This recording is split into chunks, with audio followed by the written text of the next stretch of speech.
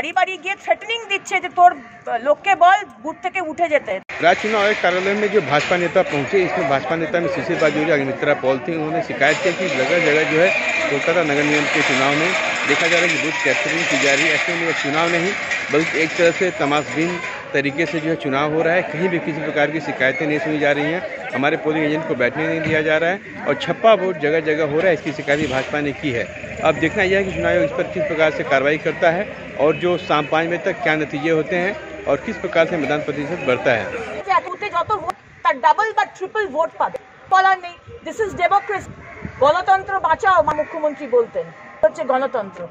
বা মাননীয় মুখ্যমন্ত্রী বা যুবরাজ যে কথা বলুন, তারা জানেন যে তারা টেজ মেক ওভার করাটা করেছিলেন।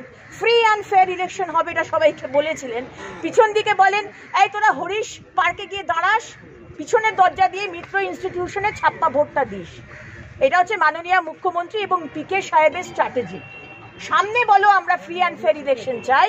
পিছনের দরজা দিয়ে ছাপ্পা ভোট করো। আমাদের মীনা দেবী পুরোহিতের মতো বয়স্ক মানুষ, তার শাড়ি ব্লাউজ ছিঁড়ে দাও। পোলিং এজেন্টদের মেরে বুট থেকে বের করে দাও। This is free and fair election in West Bengal